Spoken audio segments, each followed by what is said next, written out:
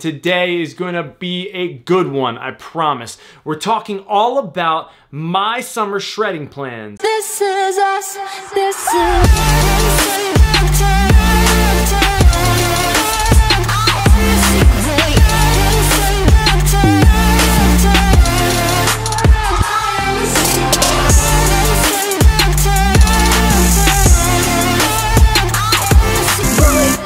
Family fitness fun. Welcome back to the channel guys and thanks for checking out this video and today is going to be a good one, I promise. We're talking all about my summer shredding plans, my plan to get shredded by summer, how I'm going to do it and break it down for you to kind of see how I'm thinking about it already and you should be too. Summer is just around the corner and so many people think that you can start a couple weeks before summer in order to get shredded and get that beach body ready. It couldn't be further from the truth and you need to start planning it today. I'm excited because summertime means I am now able to shed a lot of this extra weight that I've been putting on the last couple months. So this video, I'm gonna break it down how I'm gonna do it. But before we even get into that, I have to shout out my brother. Look, look, look. At these. Look how sick these are. My brother, uh, hold on. My brother, Kier Blevins, who used to have an Instagram, he doesn't have an Instagram anymore. He did when we shot this video. If you missed my Philadelphia trip, make sure you check out that video. But he no longer has an Instagram. Either way, thank you to him and his girlfriend. They surprised me with some pretty cool shoes. I love them for my birthday in a couple weeks. But that's neither here nor there right now. But the first thing I want to talk about right now is how important it is to have a goal in mind, write it down, and set dates. Without writing down your goals, without setting an end date so you're able to focus in your mind and push through to that point, you're never gonna be successful in reaching your goals. So we first have to start here and write down your goals. Next, you're gonna wanna make sure you write down an end date to this. Having an end date where all of this ends and you can have that cheat day you've been looking for, or enjoy a couple beers, or that's the day a beach party's going on, or maybe you're on vacation that week. That is what forces us or enables our minds to push through anything, stay committed, and get to the results that we're looking for. So if you're following along, now you have the goal written down and the date. Let me get mine real quick. So, okay guys, check this out. Got my goals right here. Get shredded AF 175 pounds by when? June 10th. So my goals are to get shredded as hell and the goal deadline is June 10th. Why June 10th? Uh, I'm not sure. I kind of just ask here. I really don't have a reason. But June 10th it is. So, March. I'm gonna keep everything the exact same because March is a busy month. Got my birthday, got some concerts, got my brother's match day, lots going on. Three days a week working out sounds good to me. One video a week every Sunday. So if you're not already subscribed, make sure you smash the subscribe button down right now so you don't miss those. Quick little plug right there. I know you like that. And it allows me time to spend more time with my beautiful daughter, Haven. Heading now into April where everything starts to change. Mind you, please note guys, this is just my personal, personal breakdown of how I'm going to be doing my summer shredding, six pack by summer, summer diet.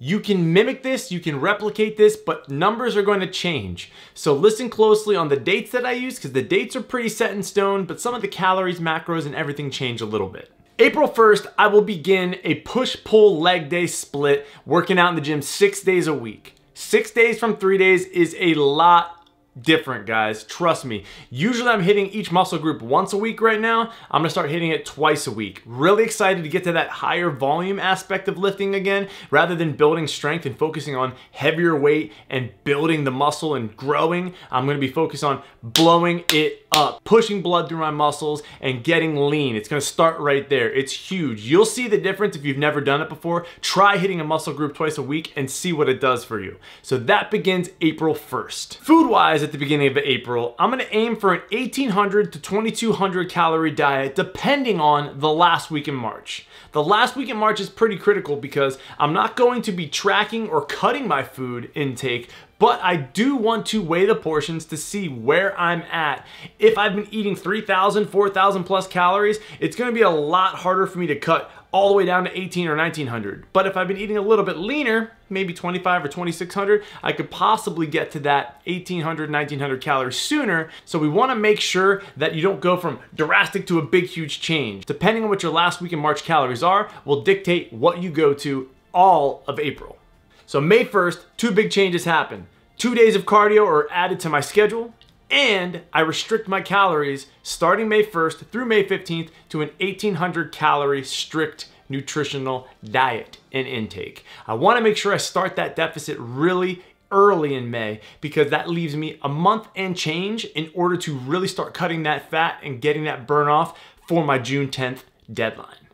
Most of May stays the exact same like that, but the last week of May, I add more cardio. Boo. It becomes four cardio sessions a week. So I'm going to the gym six days a week. Four of them have additional cardio sessions, anywhere from two to 500 calories, depending. The next week after that four day a week cardio week is the dig week. June 1st through June 7th, possibly June 6th, depending. The dig week. By far the worst week ever. You're going to be cutting your carbohydrates to a very low level. 50, 75 grams a day, but definitely less than 100. And you're gonna see a huge energy loss because you've been relying on carbs so much this entire cut, this entire shred to get you through those cardio sessions. So stay strict on that week, dig through it, push through it because you're almost at the end. And you'll see a huge drastic difference in your body that week. And that leads us to the last couple days before June 10th, which is the end of the shred diet, six pack by summer, whatever you want to call it. It's almost done. And these last couple days are the fun days. You get to reintroduce carbohydrates into your diet slowly, upping those carbohydrates before June 10th because you want to make sure that you're not completely depleted when you take that after photo. How could I totally forget to remind you to take a before photo? If you're serious about this and following any sort of information that I'm giving you right now and you're trying to get shredded for summer and lose weight and have a six pack before summer, make sure you document it for yourself because it'll help you see results. And when you see results, you're more motivated to stick to something. So take that before photo, write down your weight currently, and watch the pounds drip off you. Stay dedicated and continue to push through because you deserve more. It's worth it, I promise. So like I said, refeeding those carbs in so you don't look completely depleted before you take that after photo. Most people usually consider this the dig week and then you refeed prior to any sort of physique competition or prep. I don't do physique competitions. Maybe I will someday, who knows? I don't know, never even thought about doing it. But anyway, neither here nor there. So you wanna make sure you refeed carbs slowly, reintroduce them back in your diet, and you have finally reached that goal date. Did you hit your goal weight? Did you hit that goal physique, visual look? Only you will be able to dictate that and tell. So that's what's so amazing about fitness in general because you can always push it a little bit more every single year, every single day, and it's only you versus you. I hope you guys enjoyed this video and I hope you enjoyed learning a little bit about what I'm going to be doing for the next couple months leading to summer, how my diet and nutrition kind of breaks down. If you have any questions, comments, or concerns, drop them in a comment below and I'll make sure to get back to you. Hopefully I can help you out. I hope you enjoyed this video. Smash the subscribe button down below because I release a video every single Sunday. And make sure you follow me on Instagram because I forgot to mention it earlier. It's at Curran Blevins on Instagram. Thanks for watching, guys. I'll see you next week. Family, fitness, fun. Have a good night.